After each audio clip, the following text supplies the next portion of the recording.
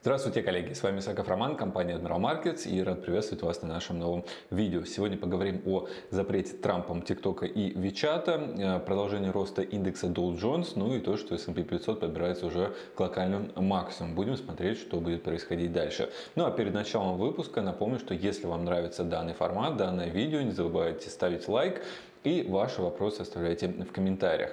Ну а начнем мы с объявления, которое было сделано вчера Дональдом Трампом, который а, дал 45 дней на то, чтобы заблокировать э, TikTok и WeChat на территории США. А, TikTok в этом отношении является более популярным, достаточно большое количество людей в США им пользуются. Здесь по сообщениям а, Трампа, как в отношении и WeChat, и ТикТока, есть определенные опасения по хранению личных данных, ну, в первую очередь, граждан США. Поэтому, конечно, все, э, все отталкивается от этого. Ну, на самом деле, дело а, стоит за этим, мы не знаем. Но, по крайней мере, в его а, пресс-конференции основным акцентом было именно хранение персональных данных. В этом случае уже, если говорить о WeChat, то существует большое количество людей, которые приехали в США, которые общаются со своими своими родственниками а, из Китая. Безусловно, также большое количество людей им а, продолжают пользоваться. Но в точке, с точки зрения ТикТока уже, как мы с вами обсуждали в понедельник, есть президент на покупку. Это Microsoft. Если смогут договориться, то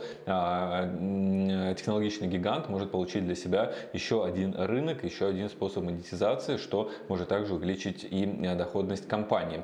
А также второй момент. Рынки продолжают расти. Индекс Dow Jones продолжает штурмовать локальный максимум пока отстает от тех, а, от э, и NASDAQ высокотехнологичного, потому что в Dow Jones не так много э, технологичных компаний, которые двигают этот рынок, а мы с вами знаем, что S&P 500 э, состоит на 20% из пяти крупнейших технологичных компаний, да, Apple, Microsoft, Google, ну а NASDAQ и вовсе на порядка 45-50%, поэтому Dow Jones несколько э, отстает, потому что в него входят, конечно, компании, из э, старых экономик, которые э, не так хорошо выиграли от э, коронавируса, да и общего закрытия, так как их бизнес завязан все-таки на производстве и на то, чтобы люди ходили, что называется, на работу и в офис.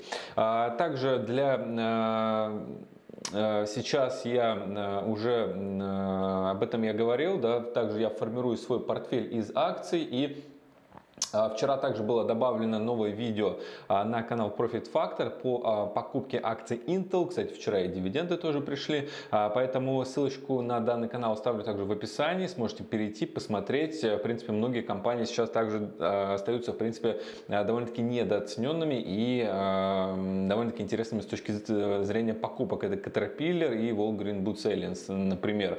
Сейчас эти рынки продолжают также восстанавливаться ну, теперь давайте посмотрим общую картину, ну и, в принципе, резюмируем, чем мы подходим к пятнице.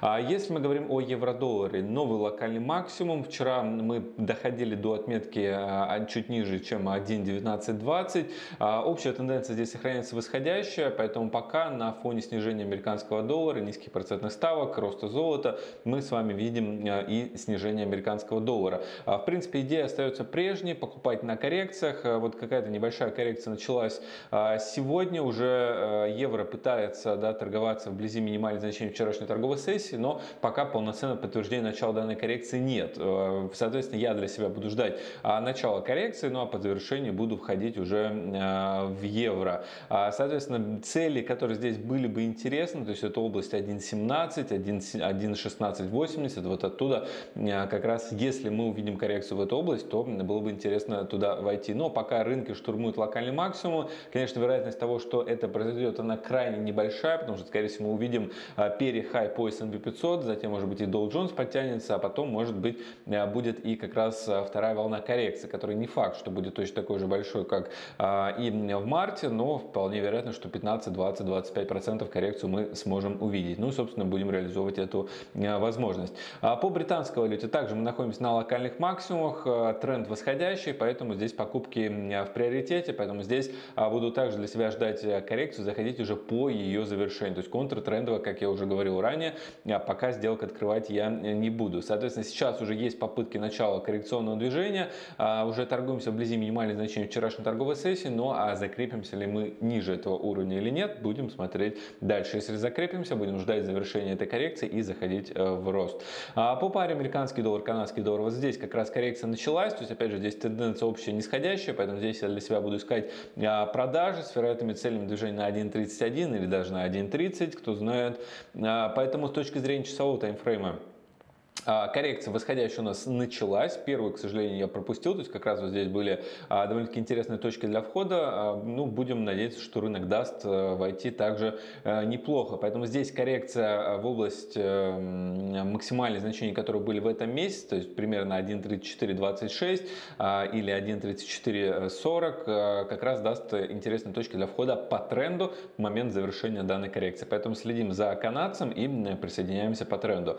По паре американский доллар, японская иена. Здесь э, тенденция нисходящая э, началась, в принципе мы перевернулись, но э, по моему отложенному ордеру меня в рынок не взяли, поэтому сейчас уже ситуация несколько поменялась. Здесь мы можем увидеть еще одно, еще одно восходящее движение, поэтому отложенный ордер здесь я тоже удалил и ну, дальше уже буду наблюдать, потому что сейчас, если мы закрепимся выше локальных максимум, то есть максимум, который был сформирован вчера, то еще одна волна коррекции здесь может произойти. А в этом случае и максимум, который были в начале августа, можно переписать, то есть остановиться где-то в области 107 и оттуда уже вновь а, идти по нисходящей, если опять же фондовые рынки это поддержат.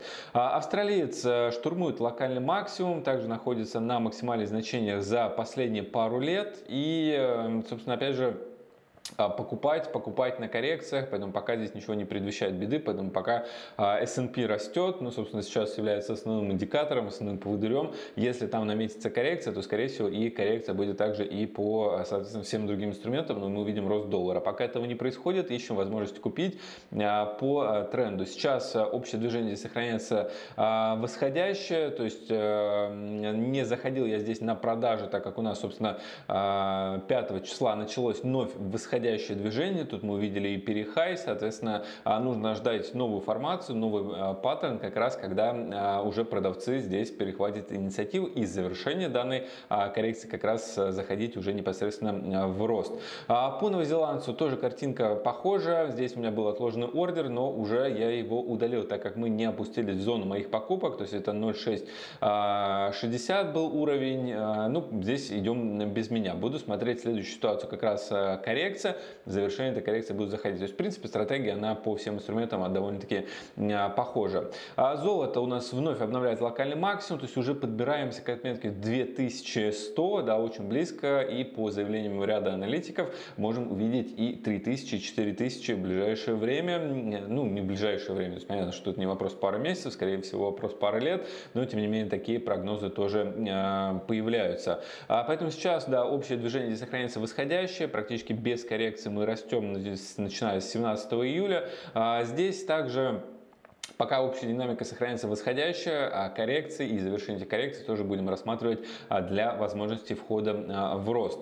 По индексам DAX не так хорошо себя ведет, как европейские индексы, оно и понятно, тоже спад экономики ВВП не так сильно накачивает деньгами, как в США, ну и компании не отчитываются не так позитивно, как хотелось бы. Поэтому здесь продолжу искать для себя возможности для покупок, потому что все равно на фоне роста S&P 500 DAX к этому тоже подтягивается растягивается картина, и поведение движения здесь абсолютно одинаковое. Поэтому а, сейчас я для себя здесь ожидаю, а, ну, чтобы купить, да, это еще одну коррекцию. А если коррекция будет в область 12148, 12050, то вот оттуда по завершению как раз а, данной коррекции я и буду заходить. Сейчас цена выглядит э, уже а, несколько высоковато, до моего отложенного ордера цена не дошла, поэтому ищем новые, новые возможности для входа. А вот S&P 500 уже вновь э, штурмует локальный максимум, если мы с вами посмотрим, то а, фактически цена, которая была сегодня утром а, на примаркете, а, всего лишь на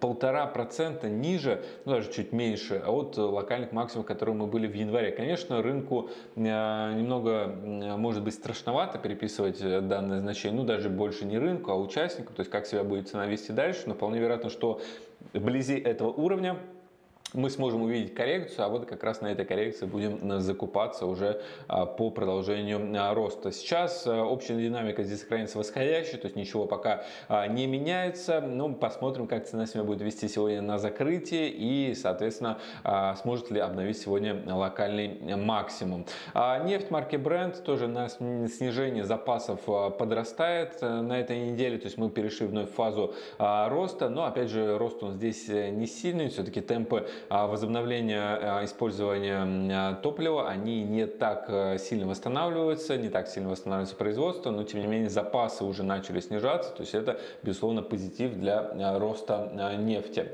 Ну вот таким образом у нас заканчивается текущая неделя, довольно-таки интересно и с точки зрения фондового рынка, и с точки зрения валютного рынка, поэтому продолжим следить, увидимся с вами в понедельник и посмотрим, как закрылась пятница и что нас будет ожидать на неделе предстоящей. Ну а если вам понравилось это видео, не забудьте поставить поставить лайк, подписаться на канал, нажать на колокольчик, ну и также добавиться в телеграм-канал. Э, ссылочку тоже я оставлю в описании, туда мы выкладываем все э, видео, поэтому там вы тоже будете получать э, быстрое уведомление о новых видео, о записях вебинаров, ну и в принципе о полезных вещах, которые мы публикуем в Admiral Markets. Всем спасибо за внимание, с вами был Саков Роман и увидимся на следующей неделе.